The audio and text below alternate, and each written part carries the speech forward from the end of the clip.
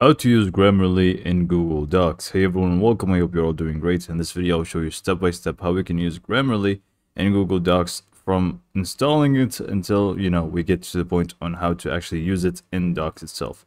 So let's just go ahead and get started. First, you will need to open up a new browser tab. In here, I have Docs, but we don't want that for the time being. We want to open up a new tab. And then if you just go ahead and open up your google.com, sign into your account and just click on Google Apps here, you can just scroll down to the bottom where you will find Chrome Web Store. So just go and click on that. And then from here, we basically want to install Grammarly. Now, it could be, you know, as you can see here, one of the um, main apps that you will find in front of you. But if you don't find it, you can just simply search for it from here. So just go and search for Grammarly and you will find it right away. So once you find Grammarly AI writing and Grammar Checker app, click on add to Chrome and click on add extension. This is not going to only work for docs now, but you know, in our Google Chrome, uh, it's just going to be automatically there for us and it's just going to help us with our tasks. So you can feel free to go to the uh, extensions sections. I was about to say apps, uh, but we can just click on that and we can just pin it this way it's always going to be visible and it's easy for us to access. And if you don't have an account, you can feel free to create one from this screen, which should open up automatically once you actually uh, install the extension. So I'm just going to sign up with my account for free and we can just go in and continue. So it could ask you um, a few questions about yourself like you can find here. So I'm just going to answer them uh, real quick here. And then here you can also select the apps that you would like to use it with.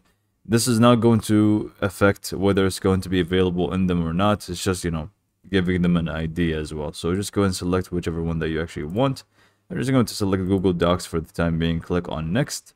And then from here, I'm just going to continue to Grammarly with the free version, but it does obviously have a pro one, uh, and you can see the differences between them.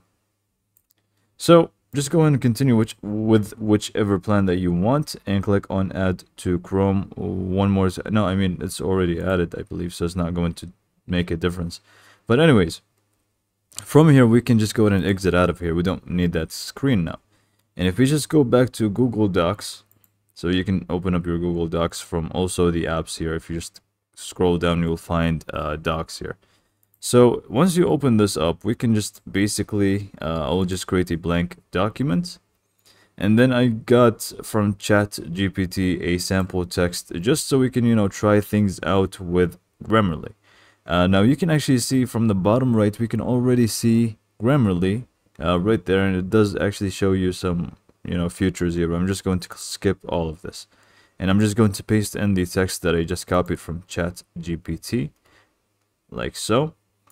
And now you can notice right away, because Grammarly is now installed, whenever we see um, an error here, I asked Chat GPT to, you know, create some errors so we can see and test whether Grammarly is going to detect it or not. And as you can see here, did you seen that new fountain over there? Obviously, we have an error here. So you can just basically click on that and we can just go ahead and select the proper um, meaning or grammar uh, for us. And here as well, you can actually see that this is an error and it's also going to allow you to change it. Now in here, we can just go and click on it and select the proper one for us. For example, for the it's part. Now you can't really change the entire sentence because that's a pro future, but you can change word for word. So for example, this it's is the problem. So we can just go and change it uh, itself or we can just go ahead and click on this one and see which suggestions are available. And if you just go ahead and click on the bottom right you also will find the open grammarly option which is just going to show you more um, you know a review or an entire uh, summary of what's happening. So correctness clarity engagement delivery and so on. It's just going to show you all that is actually needed in here so this is all for this video. Hopefully you found it to be helpful and thanks for watching.